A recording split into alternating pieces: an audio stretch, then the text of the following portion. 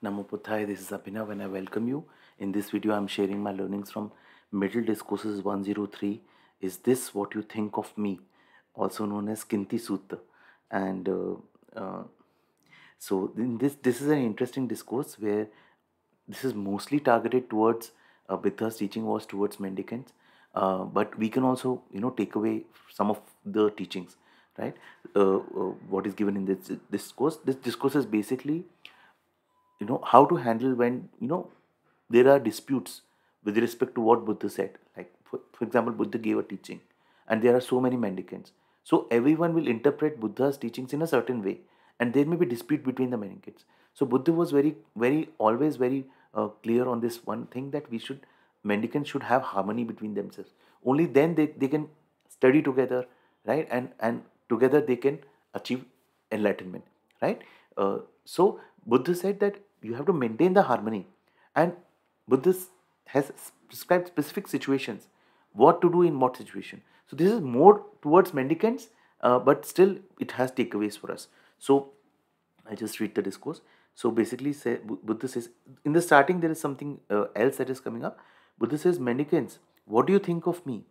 Ascetic gautama teaches the dhamma for the sake of robes alms food lodging or rebirth in this or that state so mendicant said, No, sir, we don't think that way. That you only teach us for robes and everything and rebirth and all. No. So if you don't think of me in that way, then what exactly do you think of me? So the mendicant said, uh, we think of you in this way. The Buddha is compassionate and wants what, what's best for us. He teaches out of compassion. And this is going back to the the day when Buddha got enlightened. He when he got the uh, the, the the learning, he he didn't want to teach because somewhere he knew that this learning I myself have got after so much effort and there are people who are sleeping. How will they benefit from it? Then Brahma, Brahma Sahampati, eh, he came and said that no, there are people who have, who, then from the eyes of the Brahma, Buddha surveyed the world and he saw people who are suffering so much. And Brahma told him that there are people who are, who have little dust in the eyes. They are not fully awakened, but they are also not fully slept. And there are ears that can understand. So Buddha said, Okay, I'm ready to teach. And this is how Buddha, Buddha teaches out of compassion towards all beings.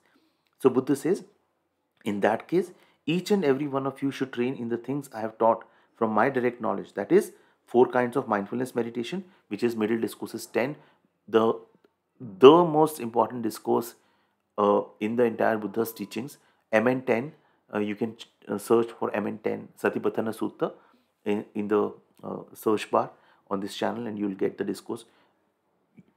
Highly advised to take a printout of that discourse. The link will be there in the description. Read the discourse. This is, if you are a Buddha student, you have to master this discourse not only in terms of kind of understanding but also in your daily life. So, uh, uh, four kinds of mindfulness meditation, four four right efforts, four bases of psychic power, five faculties, five powers, seven awakening factors, and the Noble Eightfold Path. So this was like Buddha's teaching.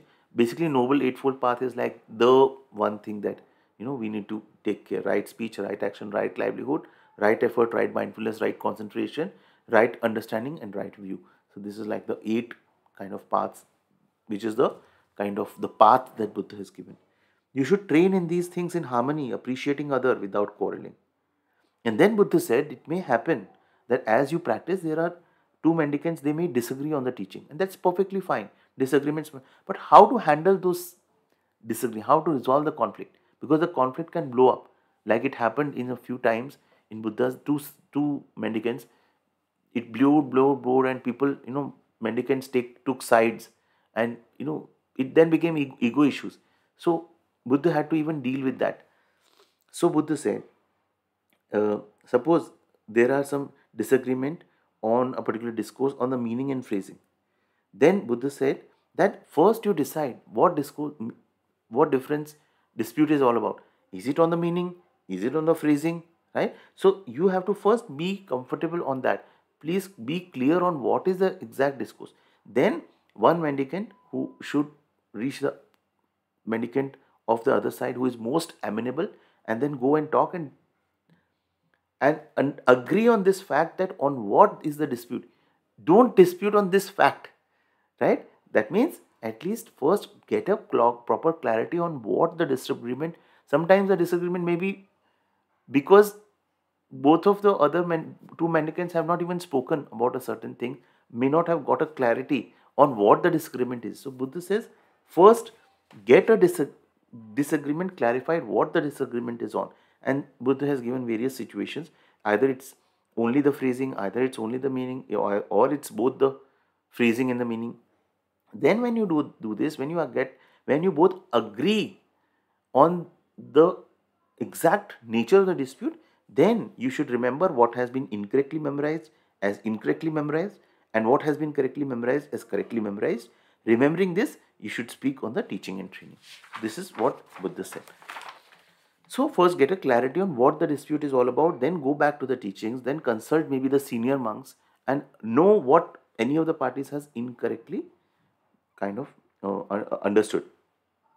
Then uh, Buddha talks about harmony, uh, sorry, uh, offense done by any of the mendicants. That means as you train in harmony, appreciating each other without quarreling, one of the mendicants might commit an offense or transgression.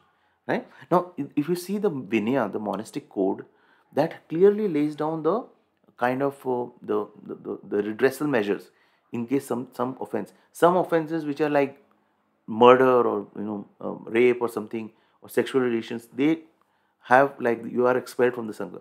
There are other offenses which you can just confess. So there is a monastic code. Maybe this uh, sutta was before laying down that full monastic code. I'm not aware of that. But here Buddha is giving certain directions that as you train in harmony, appreciating each other without quarreling, some of the mendicants may commit an offense. In that case, you should not be in a hurry to accuse them. Individuals should be examined. That means, in this situation, if you want to correct the other person, first you examine whether you will be troubled, whether the other person will be hurt, whether they hold fast their views or not. Sometimes the mendicant, you know, who has made the offense is holding on her views. And fourth, can you draw him from the unskillful and establish in the skillful? So, Buddha basically wanted, if someone has made a mistake, the other person to go and speak to him and resolve the issue, bring him from the unskillful to the skillful. However, Buddha has given various scenarios. What are the scenarios? Whether you yourself will be troubled, whether the mendicant who has made the offense will be hurt, whether the mendicant who has made the offense is holding fast to his view, and fourth is whether you see that you will be able to move him from the skillful to the unskillful. Now, in all the situations, Buddha says, in all the situations, maybe a situation where you will be troubled, the mendicant is will be hurt, mendicant will be hurt, right? And the mendicant is holding fast to his views, and but still you feel that you will be able to kind of transform him from skillful to unskillful from unskillful to skillful, you should go and speak. Only one situation where Buddha says, but suppose you think I'll be troubled, individual other individual will be hurt, for they are irritable and hostile. They hold fast to their views, refusing to let go. I cannot draw them away from the unskillful and establishment establishment in the skillful. In that case, Buddha says, don't underestimate the value of equanimity for that person. That means, in that case, just be equanimous. Do not then reach out to that person just have that equanimity. So this thing we can also you know kind of follow it in our day-to-day uh, conduct not only in terms of the teachings and all but sometimes you should try and reach out to the other person and help him. Even if he holds particular view he holds to his heart and he might get hurt if you know that he can come back to the from the unskillful qualities to the skillful qualities. But in a rare case you just know from within that you will not be able to turn him, then maybe you should have equanimity. Then you should not touch that person, right? Because then there is no point. Then you should practice equanimity, right? So that was coming out. Then, then there is this thing that uh, mutual tail bearing. That means if there is a disagreement, then you know there are like tales that some he's, he's see he said me to me like this and you know both the mendicants will go into their respective groups and start telling stories so buddha said that uh, if some if something like this happens, they should think that what if the ascetic knows about it? Means what if the Buddha knows about it? Would he rebuke it? The answer will be definitely yes. Answering rightly, the mendicant could, would say, Yes, Reverend, he would, but without giving that up, Reverend, can one re realize extinguishment? That means Buddha said, Do not make stories, right? If you make stories, you have to realize that you have to give up making these stories and everything. Because giving up, this is one example that you need to give up. Only then can you realize extinguishment. And then you should give up making stories and all. So, tale bearing also Buddha said that you uh, should not do. That is one more thing that is coming out. So this was Kinti Sutta. I hope something was of value. Uh, this is not exactly related to uh, the lay people, but something we can draw it, draw from this. The link to the discourse is given in the description. Please do share your insights and thoughts in the comment section. Thank you for watching this video. Namo Buddhaya.